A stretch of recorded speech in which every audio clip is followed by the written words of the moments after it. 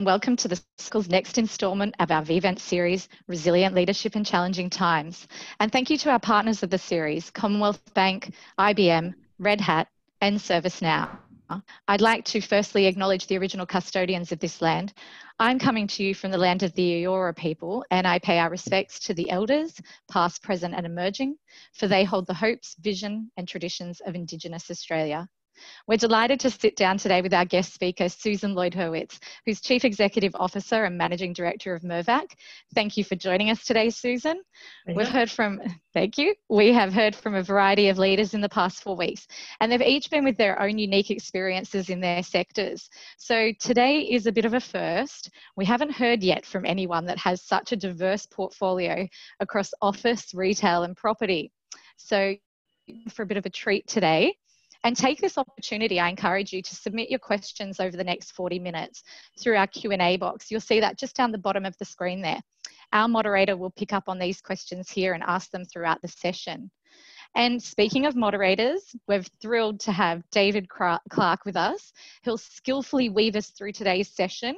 So David is chairman of Charter Hall, but he's also got 35 years of experience in investment, funds management, property by retail banking. So he's very uh, well briefed on today's session. But further to this, we're hosting a liver reunion today. So I believe that David and Susan used to work together some years ago. Um, so looking further uh, forward to hearing it. Maybe we'll get a, a sneaky little story in there at the beginning, who knows.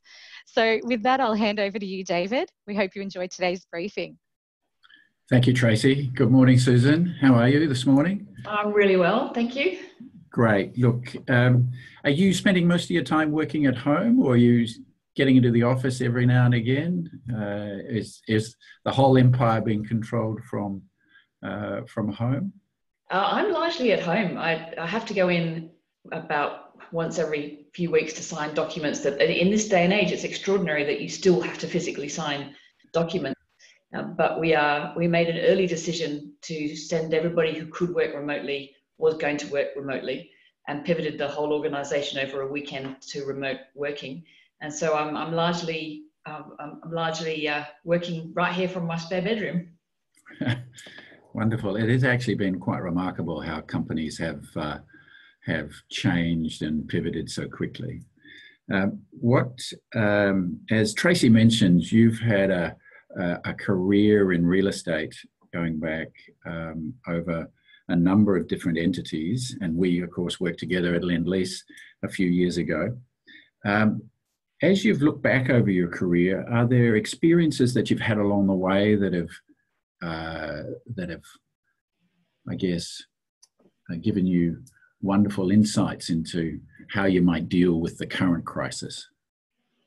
It's a really good question. I've been reflecting on it over the last few days, and I think there's you can look at it from a corporate perspective and a personal perspective. So, from a corporate perspective, there were things that we have done at Mirvac over the last five to six years that enabled us to do what we've been able to do now.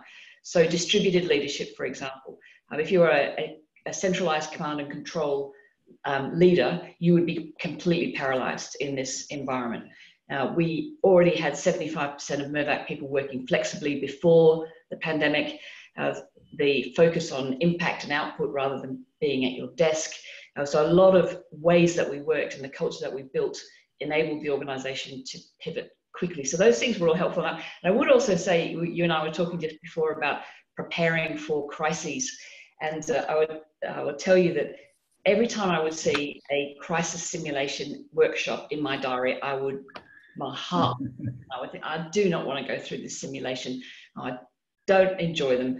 Um, and I'm so glad that we did it because while we didn't practice a pandemic, when the real crisis hit, we didn't have to stop and think about what committees to set up, what roles people would play, what's the role of the CEO, what's the role of the board. It was just all there, ready to be rolled out. So I'm glad I, I worked through all of those uh, risk simulation workshops. And then from a personal point of view, uh, there's no really one thing you could point to, rather a cumulative development of leadership character uh, that gives you the, the principles that you want to work with when you need to make decisions with imperfect knowledge, uh, with a, a, scenario you've never seen before, there is no playbook. And so I think accumulation of of experiences um, shapes how you do respond. Yeah, that's really interesting, and um, I know what you mean about those um, continuity and crisis um, crisis plan meetings, which is really the. But when you think about it, the role of the CEO is is to make sure the current is going okay, but the pr- primary role is is looking into the into the future and adapting to what you think is going to come. So, in many respects, it sounds it sounds like you were uh, remarkably well prepared. And I guess that leads to the next question, which is everyone in a crisis is really busy. Uh, working hard, dealing with the current issues, uh, but often the the real tricky thing is actually looking beyond the immediate crisis and, and how you're actually going to deal with the unknown as uh, on the other side of this, as our Prime Minister says. So, how are you? Uh, I'm not asking you for to pre- you to predict the future, but I'm just asking how do you and your team actually think about uh, that next stage? How do you? You just talked about how you prepared for, unwittingly perhaps unprepared for uh, prepared for this um, current crisis. How are you preparing for that next stage? Yeah, I think it's a very clear that uh, we've gone through different types of response over time. So over the last eight weeks that we've been working remotely, now there is that, that first phase of very intense health and safety, setting things up, uh, really grappling with the complete shock of the whole situation. Through to I was, I think over the last two to three weeks, the business is operating just fine. Um, sure, financial impact, there's no question. We can talk about each sector a bit later on. Uh, but there is a different operating cadence. Business is getting done. We are, uh, we are operating the business in a sort of a new normal over the last three weeks. And as part of that phase that we're now in, we are starting to think about what does the future look like? We've actually got through our innovation program, Hatch, uh, we're doing a, a, an exercise around what consumer behavior is going to change permanently mm. future and what is going to revert and therefore how do we need to change our um, our offering to our customers um, given the changing nature of of what people will want how they will behave into the future and so we're starting to think through that we're doing a lot of work thinking about um, how people will use office space that's a, a huge question that's been a, a big debate does it mean we'll need more space? Does it mean we'll need less space? What is the role of the office? So we're doing a, a lot of work um, talking to our customers about their experiences around that. Uh, so that's where, how we're starting to think. And to the point of being busy, um, I think sometimes in a crisis, you can take false comfort from being busy because if you're busy, you must be doing things, and that's that's that's what you should be doing. But there is actually a real role for reflection and pause and quiet to think and to connect with people in a non-crisis way. So I every day, for example, I call three people at Mirvac who I would normally just bump into in the office. They're not in my regular meetings, so I'm not bumping into them. So I have a, a three every day, different people. I just call them, um, and to avoid freaking them out, I say, "Hi, nothing important, just calling to say hi. Uh, and so the, the not trying to get false comfort from busyness, um, but creating pause for uh, room for a pause and human interaction is very important. Just talking about the the the human behaviour in all this, and we might we might come back because you've you've got a unique perspective, I think, given the number of sectors that you cover in the real estate area, uh, about how how the, the, sort of messages coming back from the users, the customers, the tenants, and and I really appreciate any insight you've got there at that point. But just before we move there, just just on that human behaviour, uh, we see all sorts of different behaviours uh, in during times of stress, and uh, you know some some fantastic, and others perhaps not so great. Uh, so, how do you how do you deal with that? And I, I, imagine in any large organization, you're going to see representatives of both of those things. Um, have you, do you try to get ahead of that in terms of your leadership style? Uh, just, just, I guess you, you will have, I would imagine many of your people dealing with quite distraught uh, small business tenants, and uh, and therefore, uh, sorry, uh, so therefore they would be under considerable stress. Yeah, that, that is true. I would say I've I've seen more on the positive side of of the of people's true character coming out. You do see real true character in situations like this and I've seen more of the of the good side of, of humanity. I'll give you a, a good example. Uh, we uh, we made the decision that we were going to, um, as an ELT, take a 20% pay cut. The next level down was going to have a reduction of um, to 80% of their hours, and the rest of the organisation would move to 90% of their hours.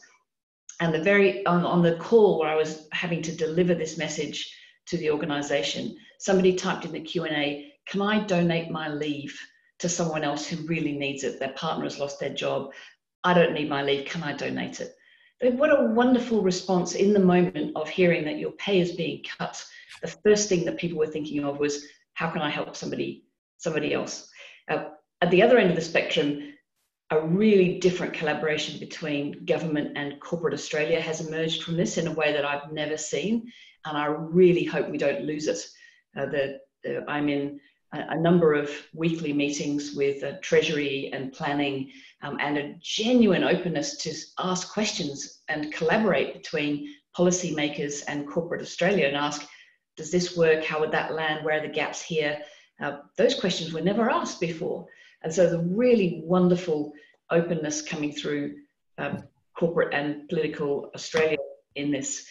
Uh, and I think to you know, really the, the supporting people in stress. And yes, the retail team are, um, have had to deal with enormous amount of stress. We've put a lot of effort into um, providing support for them, resources. We've opened up our employee assistance platform to all of our retailers who can um, call in and talk to counsellors um, to try and support people the best we can. We tried to get ahead of the code of conduct that the real estate industry put in place um, by dealing with our retail tenants, in particular the SMEs, uh, very early on to give rent abatements, rent relief, uh, any kind of assistance that we can to help them get through to the other side.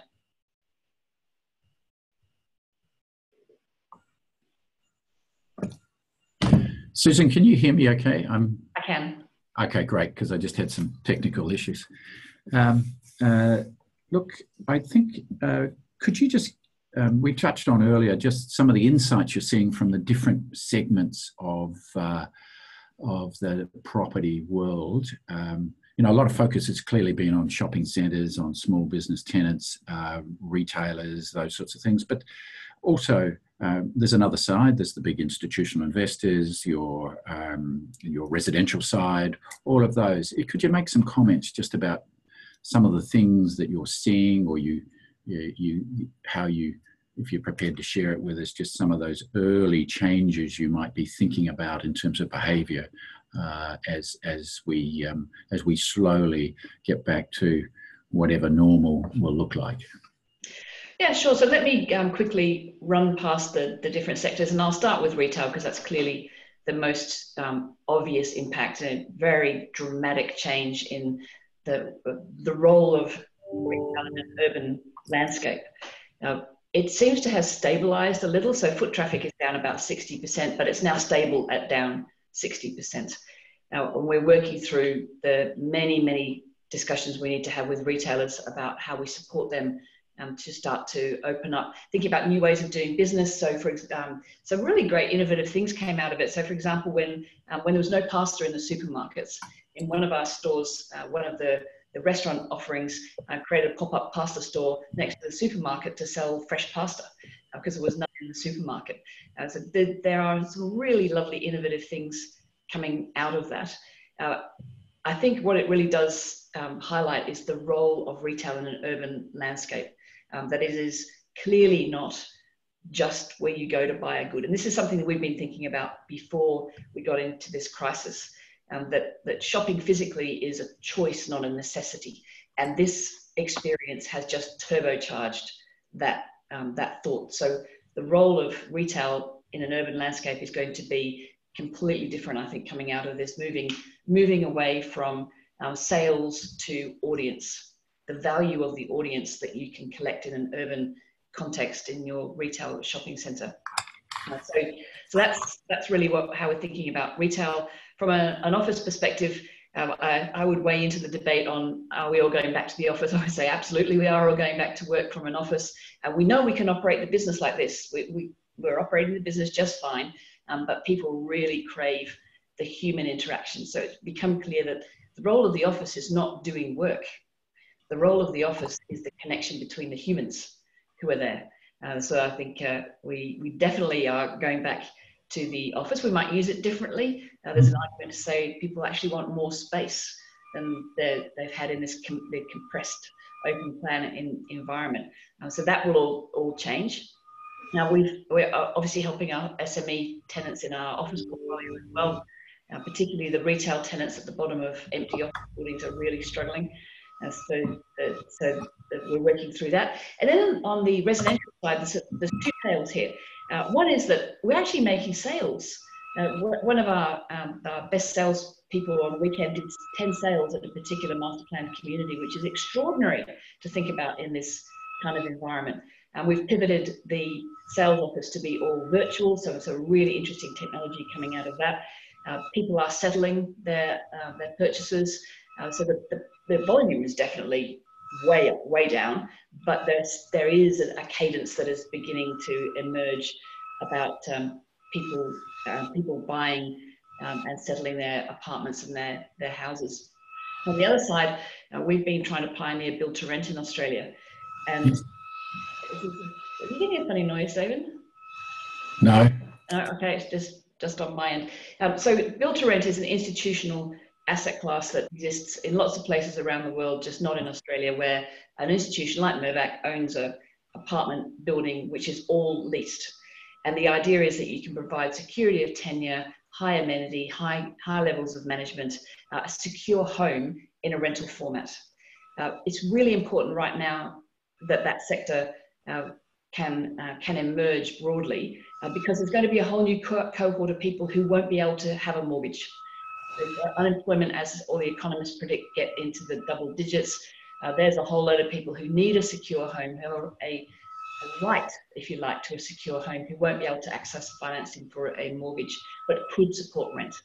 Um, so we're very, um, we're very excited to be able to release our first, um, first build to rent portfolio, starting at Sydney Olympic Park later this year, and in lots of discussion with government about this is a sector that can support construction jobs. It doesn't require pre-sales. It doesn't require financing.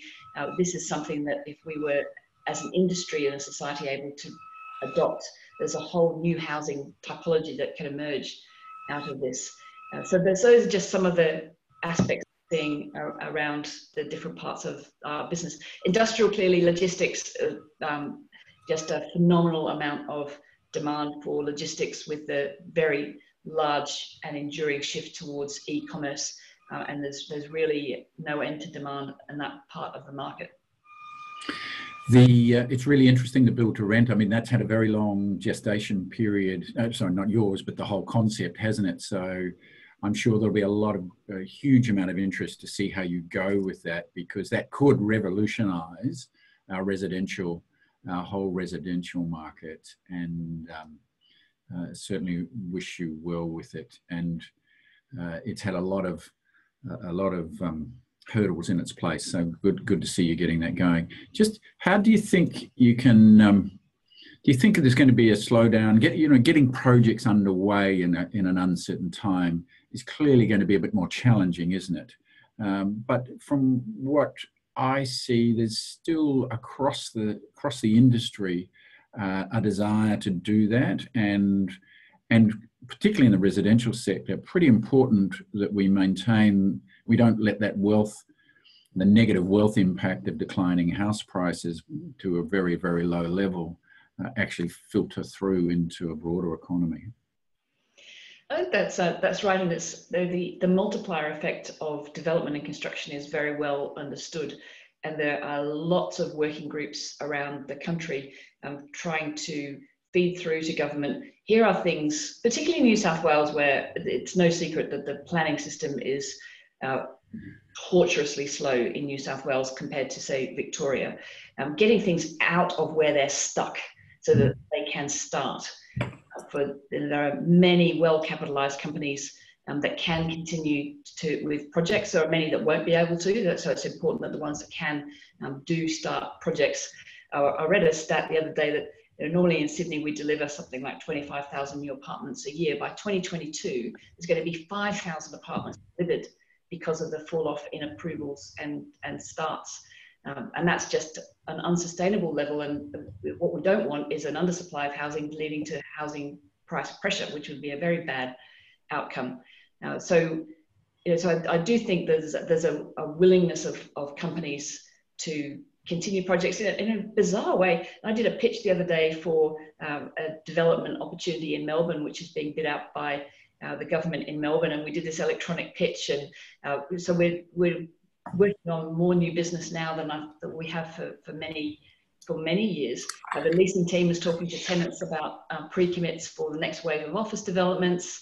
Uh, as I said before, having moved through that sort of shock and awe phase to some form of operating cadence, people are starting to think about, oh, well, I'm actually going to need some office space in 2023, so better start thinking about that now.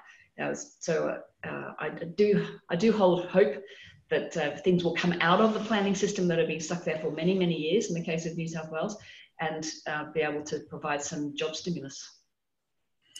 Certainly, that's uh, if you read the headlines, you would ex- you would sense that everything has stopped or slowed down. And when you look inside companies such as yours, you can see that that's not the case. Leasing still taking place.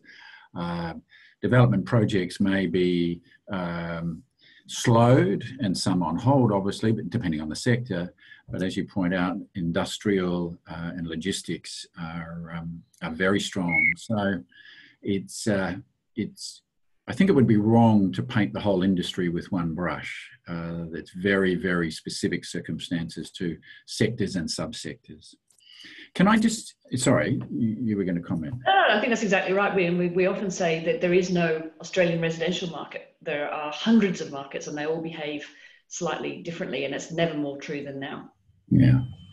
Can I switch tack slightly? Um, you and uh, you and your board, uh, and I think your senior leadership team, uh, announced a few weeks ago that you were going to uh, reduce your salaries, take a pay cut, uh, and can you just and then that's one of the few, I think, in the real estate sector. Uh, that's, there's been occasions of that in other industries. And you just want to lead us through the process and your thinking around that, because it's, it's, it's quite an interesting, interesting uh, um, step. Yeah, certainly. And it, it was, it was certainly a, an interesting journey that we went on in framing how we would think about it. And it really started with the, the view that as a leadership team and a board, we felt a very strong responsibility to do what we could do to help share the pain. Clearly, our customers were in a world of pain, and we felt very strongly that the right thing to do, uh, to be what we aspire to be in a, being a force for good, uh, was to make a contribution. And so early on, we didn't actually tell anybody about it. The ELT just took a 20% pay cut and uh, invited the board to join us, and they did. Um, and we, we didn't make a big song and dance about it. We were just making a contribution uh, to, um, to our organisation. Uh, and then we started thinking about, well, what do we do with the rest of the organisation? And we started thinking about, well, do we make it on, you know, some people are super busy, so what happens to them? And other people, they're, they're not as busy. And until we got to the principles of what we were trying to achieve, we couldn't make a decision. And the principles we came to were two that we wanted to be as equitable as possible across the organization, which meant that the senior people took more pain than the more junior people. Um, and we uh, and we wanted to preserve as many jobs for as long as possible. And as soon as we landed on those two, I would call it job to be done, the principles, then it became really clear. So we came up with a, a three-tiered approach. So ELT took a 20% pay cut.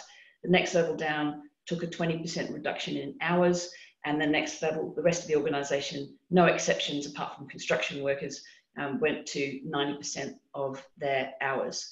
Um, but it was the, the pivot moment was when we got to the principles of equity and preserving jobs. Then the actual implementation became really clear at that point. But it took us a little while to, to get to that. We had a few cracks at different, um, different structures, if you like. Um, but using a principle-based approach really clarified what it was that we were trying to achieve. Right. That's really interesting. Um, the Property Council, of which you've um, played a, a, prominent role over many years in, has had a, um, this has prompted them, I think, to have a much greater interaction with government uh, through the um, through the leasing code of conduct than than previous. So that's I assume, been quite a galvanizing moment for the for the property council. And do you think that, uh, given the importance of real estate to if the overall health of the economy in terms of construction, do you think that engagement is going to continue now that that door has been open? And I, I would imagine that would have been quite a tough few weeks as different parts of the property sector um, with different pressures had to actually come up with that code. So that would have that would have um, I, am sure been there must have been many difficult occasions, but it must have been a, an, at the end an occasion where it's actually forced it to come together, work cohesively with government. And are you hopeful that um, those relationships with uh, the Treasurer and the Prime Minister's office for the Property Council and the senior property leaders are going to actually help a dialogue about how we actually get um, investment into various projects around the country going again? I think so. And you're right. Galvanizing is, is one word for the, the process. It was a very tough two to three weeks working with you, as you say, um, the property council is a very broad church and yeah. there are members with very disparate interests, um, not just across sectors, but also uh, large corporates and, and smaller members. Uh, so it was, uh, there were many, many hours uh, and, uh, and your Charter Hall CEO played a very prominent role, a very constructive role in pulling that conversation together. Um, so I think that we did get there in the end, and many companies are, have gone beyond the code and gone earlier than the code in, in any event because it was the right thing to do. I'm, I am very hopeful that not just property's relationship with, with government and policymakers, um, but corporate Australia's relationship, as I was saying before, is, is, is at a new level.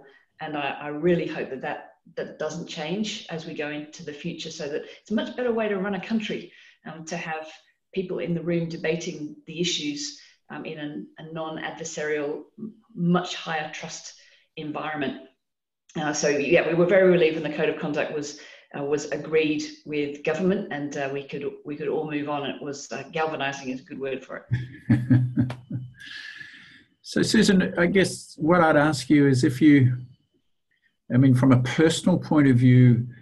Uh, and I'm not seeking to pry into the decision, but there must have been some really difficult decisions around in, in this last uh, six weeks. Um, how is, is there any particular one that stands out in your mind? Uh, the, so the, the first decision to go early in in remote working uh, was, uh, in, in retrospect, not, not a, I wouldn't call it a difficult decision, um, but it was a, it was somewhat of a bold decision because we were very early on in um, calling out that we, we needed to have everybody working remotely. Um, certainly, the thinking around um, jobs and pay was a, a difficult um, a difficult decision. Uh, but I keep coming back to if you've got the right principles and frames that guide you, even in an environment where you have highly imperfect information and there is no playbook and there is no right answer, you just need to do the best that you can do with what you've got. Uh, I have a very strong philosophy of uh, only worrying about things that I can have some kind of control or influence on. Control is a weird word in this environment, I guess. Um, some sort of influence on, and not worrying about the rest. Um, I largely cut myself off from media uh, because I don't need my, my mind cluttered uh, with apocalyptic news. Uh, so I try very hard to concentrate on here is a handful of things that I can have some form of influence over. I'm going to concentrate on these things and I'm going to shut out the rest because it's just noise and it is not helping me make the difficult decisions that we need to make as a team. And I would say also that uh, because we've got at Mirvac a, a, highly distributed leadership style with a lot of autonomy into the business units, uh, that that has enabled us to collectively make decisions because um, it doesn't rely on one or two or three people making all the decisions that need to be made every day. That's really interesting because I guess in these times when, as you say, imperfect information or lack of information, no one's got a monopoly on judgment, uh, and that's what you're that's what you're seeking to uh, to apply. I, uh, as we head towards the end, just a question: uh, How are your um, in terms of your frontline people, are they, and, and I asked this before and you may have answered it, but I dropped off uh, for a little while there. Um, just in terms of frontline people dealing with the, the, um, uh, the small business people in your shopping centres, how are, how are they coping and are you supporting them? How are you supporting them? So, so to look at our retail team, uh, we've, we've made a red team and a blue team so that people aren't constantly exposed mm-hmm that pressure. So people are working in centres one week and then we do a deep clean and the, the opposite team comes in for the next week. Uh, we've got a lot of support that we've put in place around counselling, um, giving people support techniques around health and well-being, uh, a lot of support uh, that we're um, holding that out for our retailers and our tenants as well, not just our staff, so they can also access um, access that. Uh, where uh, our, all of our managers are looking out for each other um, Mirvac is a highly relational organization, and so people have a natural instinct to reach out to each other to support, and that, that culture is gold in this environment uh, because it's a natural tendency of, of people to want to help um, and to want to reach out to, um, to people in a very, a very human way. Um, and at the same time, we're, we're hearing the stories of stress, you're also hearing the stories of hope and the stories of innovation and the stories of gratitude um, that people are expressing back to the team. And so it is very inspiring for the team when they get a, a, an email from a, a tenant um, who's taken the time to write to say thank you. I got one the other day from a retailer who I've never met.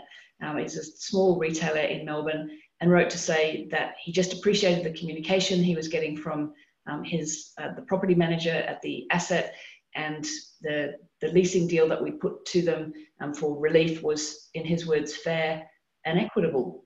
And it's just wonderful to get that feedback from from tenants.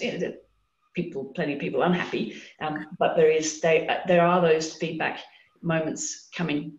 And one of our uh, one of our, our retail executives uh, emailed me. Uh, I'd been having a, a, little moan on a. Uh, I have a, a, wine women and wisdom call on a Thursday afternoon. The senior women of Mirvac we get together and a glass of wine, and I sang a, a little moan uh, about the, the, difficulties that uh, we were going through getting to this code of conduct.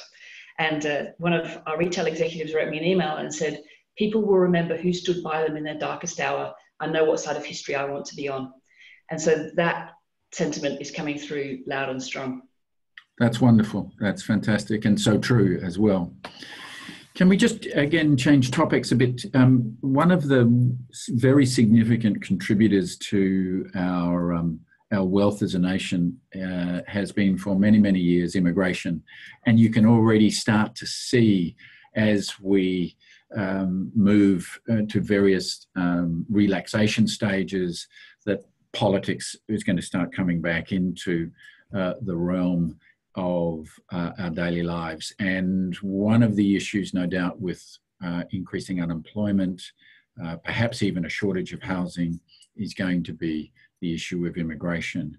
Is there? Do you uh, uh, um, do you have a particular view about um, about whether uh, that's something that should be pursued? Um, can you see it being a polarizing debate for a start? Um, but um, any any views from you and Mirvac? I think unfortunately it will be a polarizing debate for some time.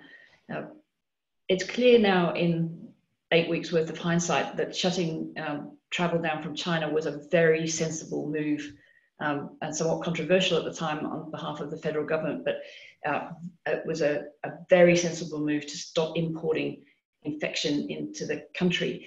Uh, and unfortunately, I think we are going to have this debate about immigration. But this is an immigrant country. We've been built on immigration um, it, it, for Australia's modern era. It is a key driver of what makes Australia um, a successful country.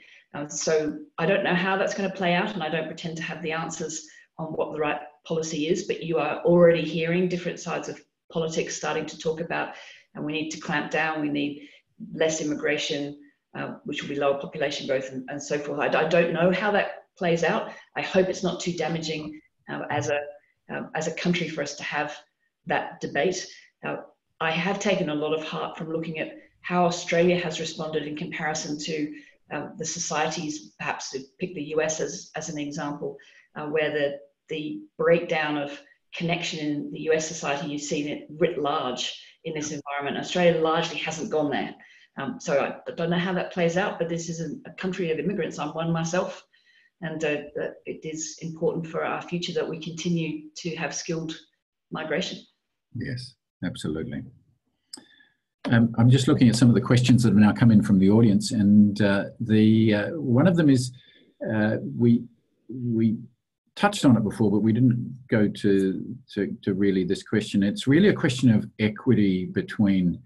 There's obviously loss at the moment going on, and there's it's being shared amongst um, landlords, tenants, and obviously banks as well uh, again, as the pressure of the immediate crisis passes, there's going to be issues. Sorry, there's going to be debate about whether that's been fairly shared. Now, you know, we've already seen bank shareholders uh, with um, with a with a dividend being suspended, uh, enduring their bit of pain. Uh, so, how do you think? Do you think there's an ex- equitable mix there at the moment? Uh, do you think it's um, a little bit uh, biased towards one party or the other in that in that matrix? I think that's an unknowable question. Uh, the best that you can do with the the circumstances that you've got, and I think we're certainly you know we're very conscious about in the bit that I can have some influence over. How do we share pain between um, between um, senior staff and more junior staff? How do we and make sure that we're controlling our expenditure appropriately. Uh, how do how so how do we think about sharing the pain with with our, our retail tenants, for example? Uh, so so I don't have a broad societal view on that, or you know, how are we striking the right balance? There is some form of balance clearly, um, and I, I, don't see any part of the economy profiteering uh, out of this. That's for sure. That's certainly right. Um, Susan, as we sort of as we come to the the conclusion of our talk, is there and if you reflect back on the um, past, are there is there any particular actions that if you if you replayed it again in your mind, would you would you do something a bit a bit different? Uh, I think we all probably would do certain things differently. Uh, probably probably react earlier in many respects uh, to some of the messages that we we got. But in, in your particular case, what would you is there anything that you you think you would change? Um, I, I, I'm very proud of Mirvac actually through this whole experience, and I'm proud that we went early in um, withdrawing guidance, for example, from the market because it enabled us to think strategically about the long term um, without the uh, without the guidance um, pressure, if you if you like, on that um, getting people working remotely early on, taking early pay cuts as an ELT. So I'm happy with all of those decisions that we made. Were they perfect? No, but they're good enough, I think, is how I would, how I would think about that. Now, probably thinking about how to support our retail team earlier, because the stress that built up in that team was quite considerable, and it took us a little while to get the right amount of support around that team and to think about the concept of red and blue teams and so forth. So maybe a little quicker around around that. Um, but you know, the time will tell if we've done yeah. the right things. I hope so. Um, one of the things uh, the um, during times like this, you tend to focus very much on, as you said, what you can influence uh, right now and what you need to do to protect your business, protect your people, protect your customers. Where does, and prior to this, uh, we were all uh, looking uh, very actively at our sustainability agendas. And therefore, uh, do, do those get pushed aside by the immediacy of this problem, do you think? Uh, do, do we go backwards a bit uh, in respect of sustainability, the enthusiasm for it, or do we keep driving on? I, think we will keep driving on. For um, I'm the um, the chair of the Green Building Council mm. uh, at the moment, and uh, it's a delightful organisation to be part of because it is very much a coalition of believers. And that this pandemic has showed us that we can take collective action when we need to.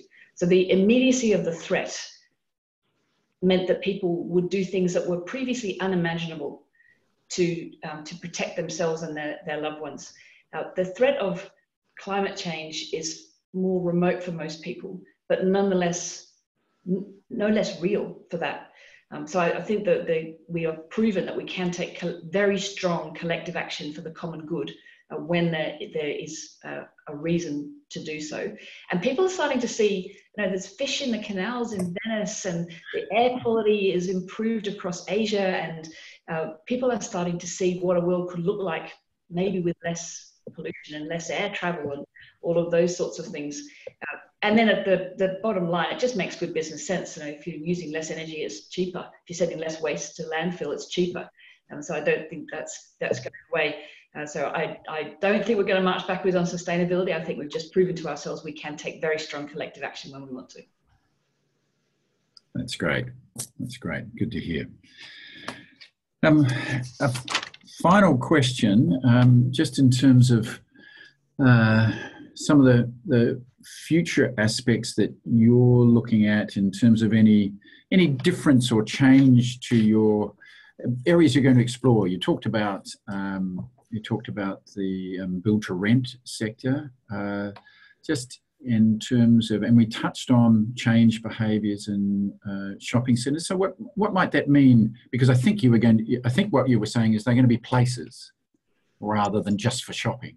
Exactly. So the that shift from necessity to choice, the shift from sales to audience, the the role of a congregating place. Uh, just before the lockdown, we'd um, put in place um, I think called the Happy Place, which is a, a, a, a immersive um, immersive experience that we put on the, the top of a, uh, one of our car parks at Broadway in Sydney. Uh, and the world, it's the world's most Instagrammable experience, apparently. It was around the US, sold out.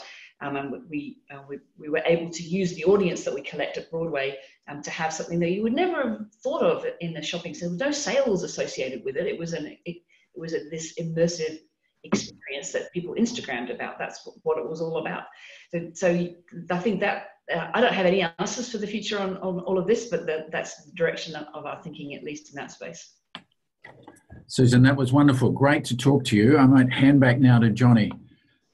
Thank you, David, and uh, what a, thank you for moderating a, fabulous session. We had certainly plenty of questions uh, left uh, to be un, to be answered. Uh, Susan, we have our business sentiment poll, and I'm sure you'll find the results from our listeners interesting as we ask them to complete their survey, how they're feeling, the role of the government, and how long this is taking. It's my privilege to propose the vote of thanks, and the final word will come back to you after the poll but you've been wonderfully open with uh, sharing your views from leadership all the way through to how you're seeing how we're in, in developing our economy. Fundamentally, you build communities, as we heard from you today, where, where we live, where we work, where we shop. You, you may do property, but really, as you so articulately shared, communities for the future and the, the fact you're reading the community and trying to respond to our uh, pressures that we have now, whether it's an SME or all the way through to building new offices in the future. Uh, you've been very, very open and we really treasure the sharing of those insights very much. Uh, you'll be pleased to see we have a great uh, feeling of innovation among our audience. This is in keeping with some of the issues uh, we've talked about earlier and the response of our businesses. The governments have had very good response from uh, our clients here and uh, people are looking at the six to 12 months schedule. So these are quite consistent with our polls on our other briefing. So Susan, we're over to you for the final word. We want to thank our partners, uh, CBA, IBM, Red Hat and ServiceNow for hosting this series. Susan, the final word. Thank you. Well, thank you. It's been a, pleasure to uh, to join in this conversation uh, this morning, and uh, really appreciate people taking the time. And thank you, David, for uh, for the great questions, and for it's really lovely to connect up with you again. And we won't embarrass ourselves by talking about how many years ago that was that we worked together. That's right. Thank you very much, everybody.